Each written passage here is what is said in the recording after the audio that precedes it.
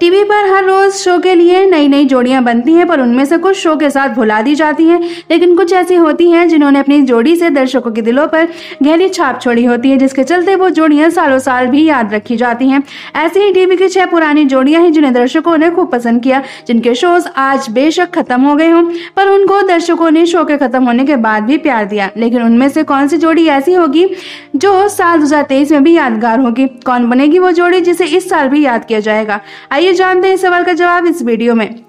Number एक, रुचा हसबनीस और विशाल सिंह। साथ निभाना साथिया की सेकंड लीड जोड़ी राशि और जिगर के रूप में दिखे थे रुचा और विशाल, जिनकी क्यूट बॉन्डिंग ने दर्शकों को इनसे प्यार करने पर मजबूर किया था, पर इनका चाम साल के बीच जाने के बाद खत्म होता जा रहा है। लोग इन्हें देखना ही नहीं चाहते दोबारा।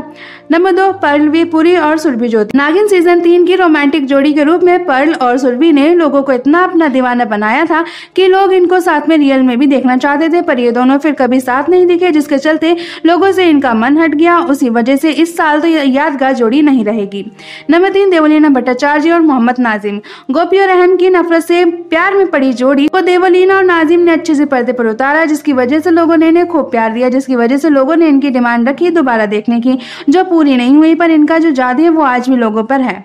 नंबर चार अनस रशीद और दीपिका सिंह। सूरज और संध्या की जोड़ी को कुछ ही लोग आज याद रखते हैं, क्योंकि शो के खत्म होने के बाद इन दोनों ने दर्शकों से कुछ ज़्यादा कनेक्शन नहीं रखा तो लोगों ने भी इन्हें भुला दिया। नंबर पाँच, मोहसिन खान और शिवांगी जोशी। मोहसिन खान और शिवांगी जोशी ने भले ही शो को छोड़ दिया हो, पर इनका जो जादू है, वो लोगों पर से खत्म नहीं हुआ है। आज भी वो इन्हें प्यार करते हैं और इन्हें देखना चाहते हैं। तो साल दो तेईस में तो ये जोड़ी यादगार ही होने वाली है।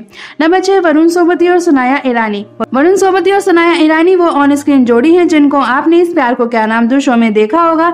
जी हाँ आपके अर्नब और खुशी इनके शो को खत्म हुए, करीब आठ साल तो हो ही गए हैं, पर आज भी ये जोड़ी लोगों की फेवरेट है, जिनका जादू आज भी दर्शकों के जहन में बसा हुआ है, जिन्हें लोग ना कल भूले थे, ना आज भूले हैं और ना कभी भूलेंगे। तो साल दो में ये जोड़ी यादगार से भी यादगार होगी।